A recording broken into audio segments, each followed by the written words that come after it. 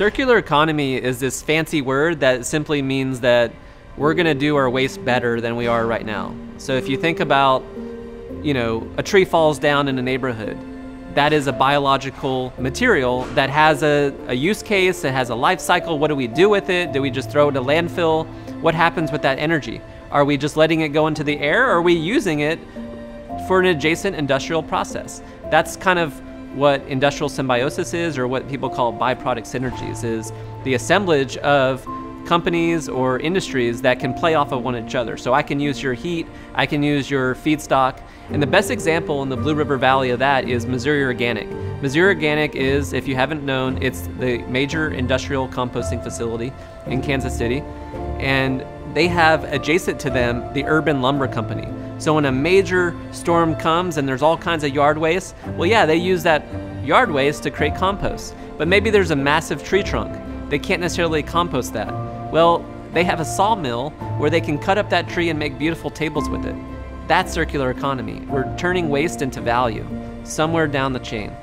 So, what the circular economy aims to do is create the value, so extract a material, manufacture it, assemble it, and then retail it and use it.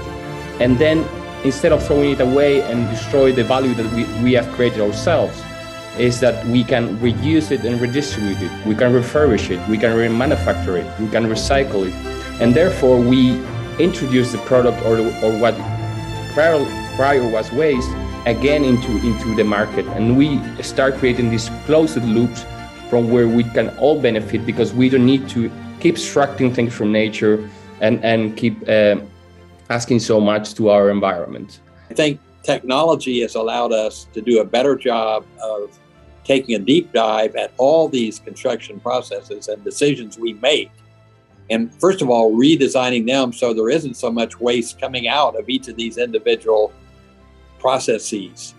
So that would change this diagram enormously at the first phase. But then, for what does ultimately end up as waste from the collective uh, folks in the valley, if we can find, as Ripple Glass has done, a way to take, for example, all those plastics or all those tires and, and introduce a new process that returns them to useful products and extends their life uh, without creating more waste or releasing more carbon, that's a home run. And and as as we have all looked up and down the uh, Blue River Valley Industrial Corridor, and as it relates to the rest of the planet, it looks like the opportunities are rich for us to once again make this a center for innovation. The opportunities are enormous, and with the knowledge of Guillermo and Stan and others, I think we can uh, introduce a lot of new opportunities behind which there's enormous opportunity for redevelopment and reinvention and revitalization of the communities that surround it.